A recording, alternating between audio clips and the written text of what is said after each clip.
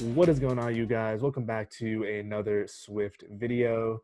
In today's video, we're going to be talking about something pretty important that not a lot of folks talk about, and that's how to detect your user's current network status, if they're connected to the network or they're not, as well as the type. So if they're on Wi-Fi or cellular. Uh, I think nowadays a lot of folks just talk about API calls and do this and do that with the internet, but we should never assume that the user has a network connection. Uh, and also, if you're targeting your app to be used by users around the world, you should also be very cognizant that not everybody is on LTE or 5G. So um, here we are on the network uh, framework page on the Apple Developer Docs, and this is what we're going to be using uh, to implement all of this today. So that all said, uh, hit that like button as per usual. Helps out with every single video on the channel at large. If you're a returning viewer, hit that subscribe button while you're at it if you've enjoyed the content so far get Xcode ready, get excited, and let's talk about some networking. Quick pause before we get into the video. If you haven't seen it already, I am hard at work putting together iOSacademy.io, a community where all of us iOS engineers can come together, learn how to build some of the top apps like Facebook, YouTube, and Instagram, in addition to interview prep to land some of these iOS roles at top tech companies. So if you're interested in the free and premium content to come, head on over to iosacademy.io and enter your email address in the waitlist form, and you will be notified as content becomes available. That said, let's get into the video. Let's begin by opening up Xcode and creating a new project. We're going to stick with the app template here, and I'm going to go ahead and call this project Network Monitor. And make sure your language is Swift, your lifecycle UI kit, and interface is Storyboard. Go ahead and continue, and we'll throw it onto our desktop for the time being. And before we get into some code, let's go ahead and expand our Xcode window to give ourselves a little more room to work. And next, let's gonna let's we're gonna go to the view controller. Hopefully, this font size is nice and large for everybody to see. So cool, network monitoring. So first and foremost, we don't really want to put our code in a view controller because we want every view controller an object that needs it around our entire app to be able to access the value. So what instead we're gonna do is create a new file here and it's gonna be a Swift file. And I'm gonna go ahead and call this uh, network monitor. And in here, we're gonna create a class and this class is gonna basically uh, be responsible for checking if the network updated, as well as if there's uh, currently an active internet connection, things like that. So we're going to create a final class called network monitor. And we're going to use it as a singleton. So we're going to create a static constant on here called shared. And that's going to have a network monitor. And essentially, we are going to use this uh, class to wrap calls into the network framework, which is a framework provided by Apple. And as the name implies, it has a bunch of networking information in it. So what else do we need on here? So we're going to want uh, a couple properties and functions. The first thing we're going to want is the queue on which we're going to continuously check the uh, internet connection every time it changes. And this is going to be a dispatch queue dot global, which is the background queue. You can think of it as the background thread if you're not familiar with queues and threading. The next thing we're going to want is a actual instance of a monitor. And this is a network path monitor. Next, we're going to want a public wave to check uh, if the device is connected or not. So we're going to create a is connected bool that's public. Now, we don't want the public scope to be able to update this. So we're going to say it's public for anybody to read, but only this class can update its value by saying the setter is private. Next, we want to create a private initializer. And in here, we're going to go ahead and assign our monitor to NW path monitor, just like that.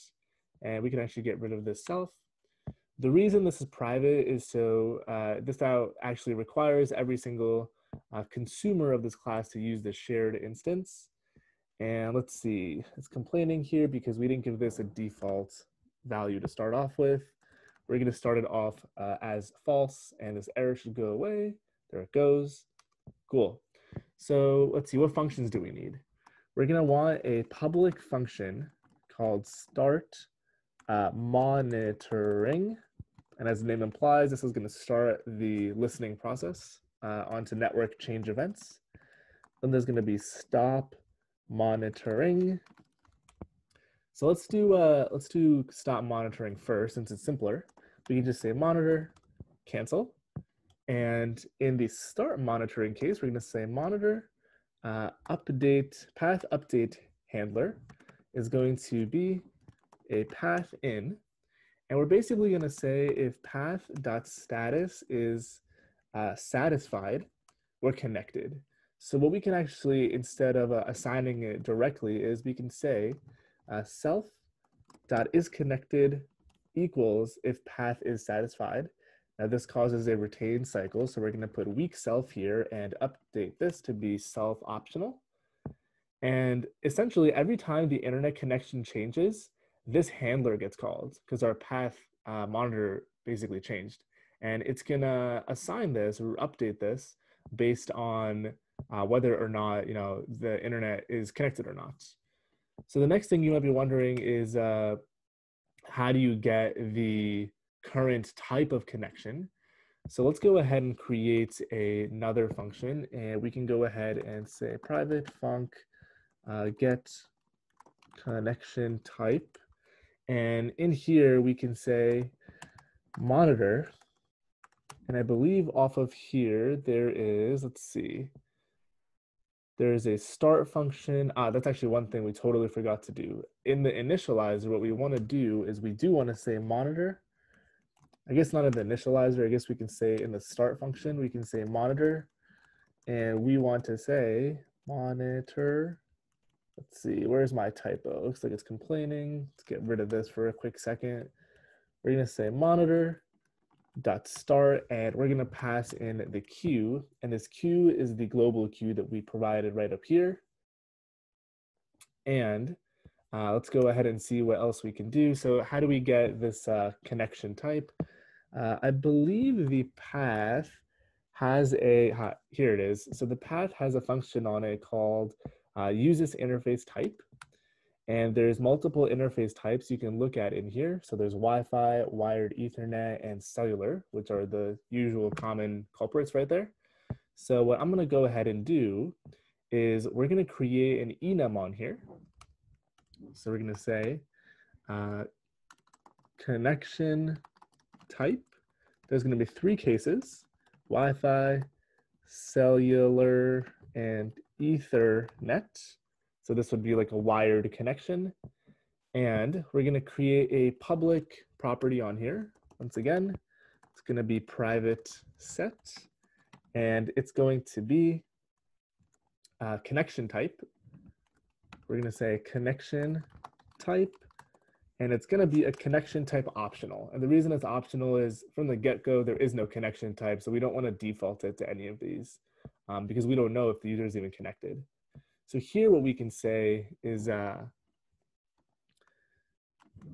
self dot connection type equals something. So how do we actually figure out what it equals? So what I'm going to say is this function is going to actually assign it get connection type. So we're going to pass in the path, which is going to be a uh, NW path. So here, let's go ahead and say self get connection type and path pass in that path. Let me get rid of my antivirus pop-up. And down in this function, now we can say is uh, if path uses Wi-Fi, then the current, let's see, if path uses Wi-Fi, we want to assign, let's see how this is complaining first and foremost let's say command B to just run and make sure, rather builds and make sure everything is compiling. Sometimes Xcode loves to give errors for no reason. Uh, we're gonna say current, what did I call it up here? Current connection type? Connection type, okay. We're gonna say connection type equals Wi-Fi. And let me just go ahead and copy and paste this with an else. Just like that, and just like that. And here we're going to say if it is cellular, we can say cellular. And in this case, if it's uh, wired Ethernet, we can say Ethernet. And then finally, if none of these uh, match, we can just nil out the connection type. Uh, or we could, in, in another way we could approach this is we could have a case in here and say unknown. Um, and actually we could do is we can default this instead of it being optional, which becomes a little hairy in some use cases because you have to un unwrap it. You can say this is unknown. So that's essentially how you set up an object that listens to internet changes. Now, where would you go ahead and call this start function?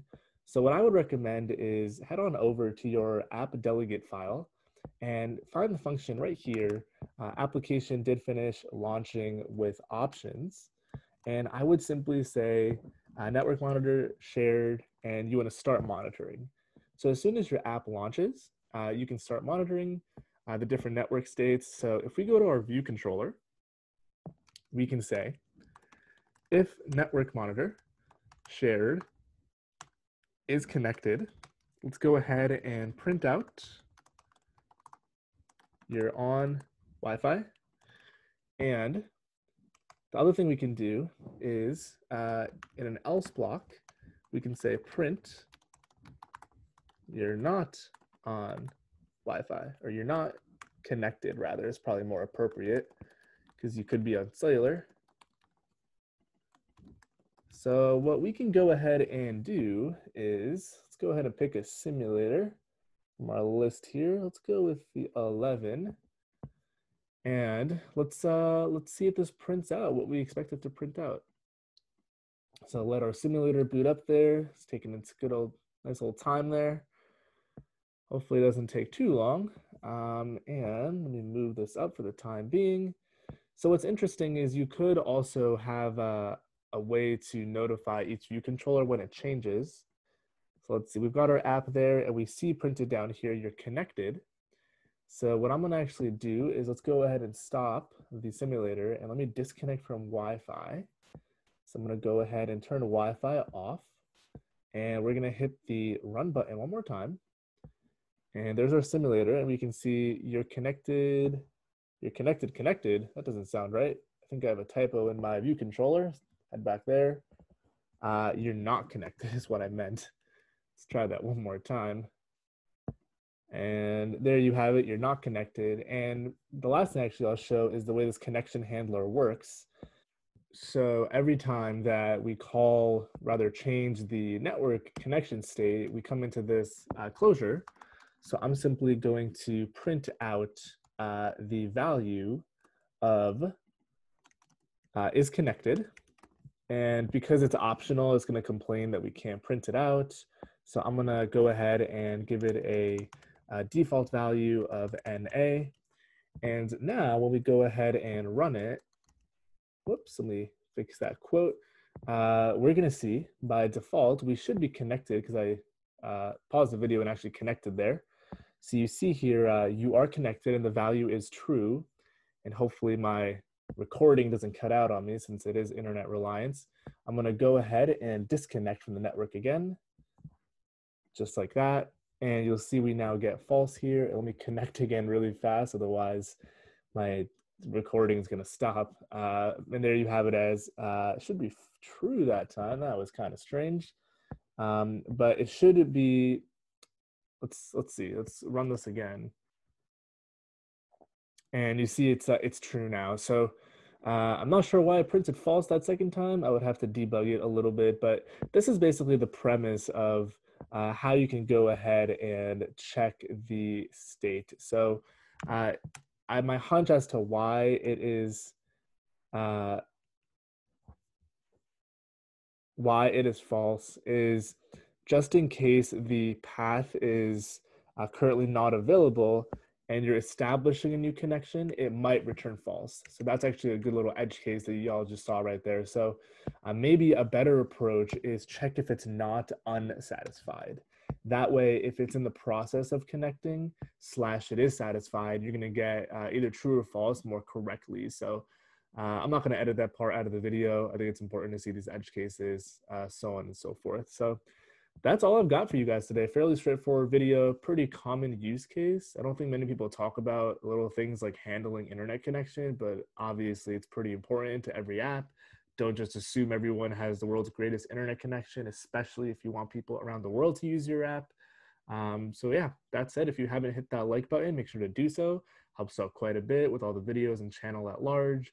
Leave any comments down below, any questions, uh, feedback, concerns, video suggestions. Uh, if you just want to say hi, I love hearing from every single one of you. Uh, I still can't believe we're past 10K on this channel, and I think honestly we're going to grow pretty quickly and go way further. So hit subscribe while you're at it if you want to come along on that journey. Thanks for watching, and I will catch you guys in the next one.